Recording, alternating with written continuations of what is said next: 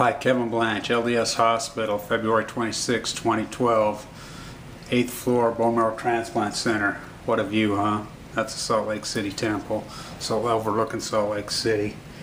I'm in here fighting for my life with leukemia. My father was nuked in the Nevada test site in 1953. I was conceived and born in 1959, born in 1960. If you don't think nuclear leaks from power plants as at Fukushima as it's going on a year now, you don't think nuclear fallout kills future generations, you know nothing. Look at me, look at me, I'm only 51 years old. This place is, I watch death every day. This place is so hardcore. I'm fighting for my life. 51 years old, full leukemia. He was simplified to his death as a human guinea pig and put a thousand yards away from the test in 53.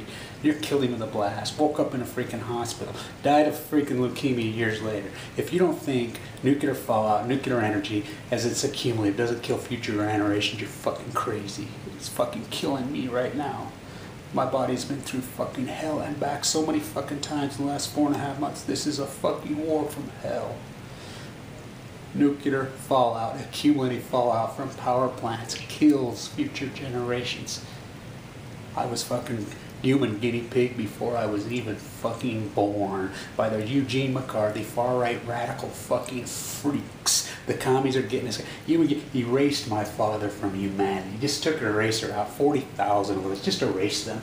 No benefits, no fucking medals. Oh, they don't even fucking count. They thought they erased them like fuck they did. Guys like me, you know, I hope, I'll tell you what, if I die, I hope people that watch these videos carry on and keep digging into this and digging in.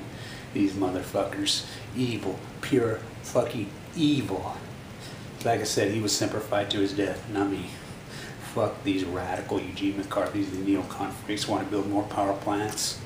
Fukushima, born in the Pacific, and the media covering up. Nobody does fucking nothing. It kills future generations. This is no coincidence what's happening to me. Like I said, I was human guinea pig before I was even fucking born. Kevin Blanch, Bone Marrow Transplanter Center, LDS Hospital, Salt Lake City, February 26, 2012.